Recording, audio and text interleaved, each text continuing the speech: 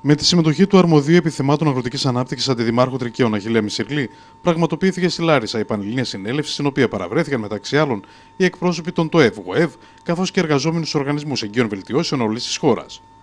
Κατά την διάρκεια της συνέλευσης, πραγματοποιήθηκε η έκδοση ψηφίσματος, το οποίο περιέχει τα αιτήματα των ΤΟΕΒ, στηριζόμενο σε 10 άξονες. Αντικείμενο της συνέλευσης ήταν και το μέλλον του ΤΟΕΒ, το οποίο έχει άμεση σύνδεση με την ανανέωση του κανονισμού λειτουργίας τους αλλά και του θεσμικού πλαισίου που τους διέπει. Έγινε μια συνάντηση όλης της Ελλάδας με τα ΤΟΕΒ ΓΟΕΒ, τα οποία είπαμε τους προβληματισμούς μας έντονα, το οποίο παρευρεθήκαν και ο κύριος Περιφερειάρχης και ο κύριος Τζανακούλης και από το Δήμο Τρικιάων παραβρέθηκα ο ίδιος. Μιλήσαμε για τα προβλήματα που έχουν οι οργανισμοί, οι οποίοι οργανισμοί θέλω να επισημάνω ότι είναι εθελοντές όλοι οι πρόεδροι και το διοικητικό. Ε, είπαμε το πώς θα γίνουν οι διαχειριστικοί με το ΙΠΕΚΑΠ, με, το, με όλα τα, τα στοιχεία τα οποία υπάρχουν πρόβλημα στα ΤΟΕΒ. Ο κ. Σολαδόπουλος έκανε όλη τη συνάντηση. Έκανε όλη την, την οργάνωση, το οποίο του ευχόμαστε πάντα να κάνει τέτοιες συναντήσεις.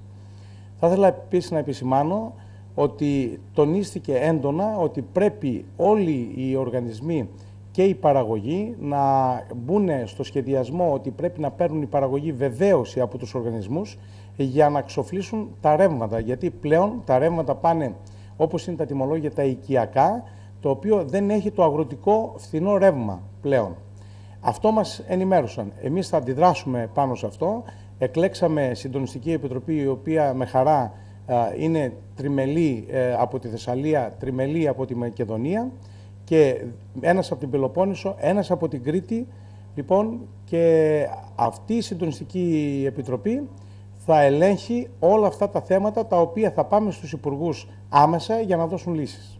Ο Αντιδήμαρχος Τρικαίων Αχιλέας Μισεκλής παραδέχθηκε ότι υπάρχει μεγάλο πρόβλημα με τους απλήρωτους λογαριασμούς των ΤΟΕΒ προς τη ΔΕΗ, με αποτέλεσμα να δυσχεραίνεται το έργο της άρδευσης. Το συνέβη γιατί φύγαμε από την Αγροτική Τράπεζα, το οποίο όταν ήμασταν οργανισμοί που ελεγχόμασταν από το Υπουργείο Γεωργίας, υπήρχε η νομοθεσία που έλεγε οι καταστάσεις θα πηγαίνουν στην Αγροτική Τράπεζα και μετά θα κρατούσε τα χρήματα από αναπαραγωγό. Αυτό το πράγμα έχει τώρα μία δεκαετία περίπου που τελείωσε.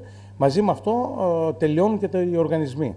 Δηλαδή αυτό το κομμάτι το οποίο λέμε η διαχείριση του νερού, το πώς θα γίνει, το τι θα γίνει, αν αυτοί οι άνθρωποι που έχουν τα κτήματά τους, οι εθελοντές, δεν σκύψουν το κεφάλι να πληρώσουν τα ρεύματα ή τα αντιλιοστάσια σε, μέσα σε παρένθεση, δυστυχώς θα έχουμε ερημοποίηση.